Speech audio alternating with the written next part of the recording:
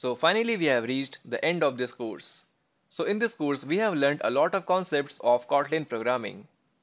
We have explored all those features for which Kotlin is gaining popularity worldwide among the developers.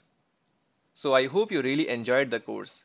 So if you have enjoyed watching the course then please do let me know your feedback in the comment section below. Because your feedback is my motivation and trust me it really helps me to create more free videos for you. So please comment below the video so that I can know what are my strengths and weakness while creating any course.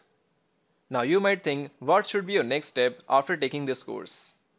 Well after this course you should go for the course of developing Android application using Kotlin.